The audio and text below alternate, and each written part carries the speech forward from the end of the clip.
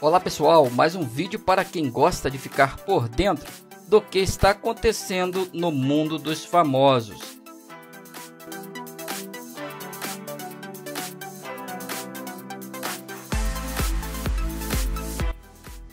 O diretor do Big Brother Brasil, Boninho, revelou que um participante da nova edição surtou e pediu para sair antes da estreia do programa. A notícia de que um participante do BBB 18 surtou repercutiu nas redes sociais.